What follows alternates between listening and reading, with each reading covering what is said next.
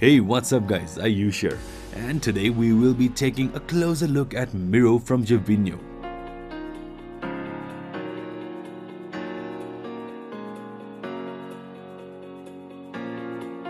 So basically this is a smart media center that tries to make your entertainment system portable.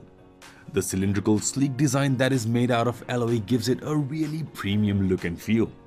And it does add to the overall aesthetics of your living room as well. Here we have 10 watt speakers to the sides and in between there is a 5.5 inch 720p touch panel. The display is crisp and sharp. Though it's 720p I wish they would have gone with a 1080p. But that's just a minor gripe here. And by the way, the dual 10 watt speaker does justice to overall audio output. It's actually better than what I had expected initially. And now talking about the specs. Miro features a powerful chipset that is paired with 1 gigs of RAM and 8 gigs of internal storage, which helps deliver lag-free video streaming and impressive multitasking. We do get this remote to control the devices and you also have physical buttons which is pretty handy as well. And the good thing here with the remote is it's magnetically attached to the media player. The standard back, home and menu buttons are kept to the left and volume keys and the power buttons to the right. And you also get a microphone which is again great for making calls.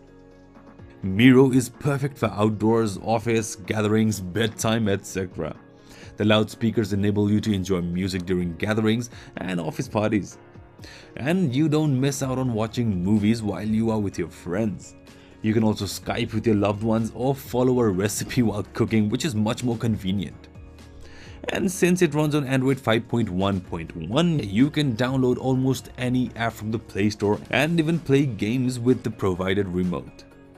I must admit that watching movies and especially listening to songs is an absolute pleasure. It's almost like docking your smartphone to a dock, but more functional. I really love the addition of a USB port at the back which can be used to access media files via external hard drives. And you have the aux support as well. I often watch Netflix at bedtime on Miro and it's perfect. With Miro, entertainment is kept simple, portable and perfect for indoors and outdoors. It's snappy for the most part as this device is purely designed for media consumption and the battery life is quite good as well. I watched two full-length movies and still had 20% battery left. That's pretty good. All in all, it's a great concept for media player. I absolutely dig the speakers on the device and if you want to be the first one to own one for yourself, Jabinho are currently running an Indiegogo campaign.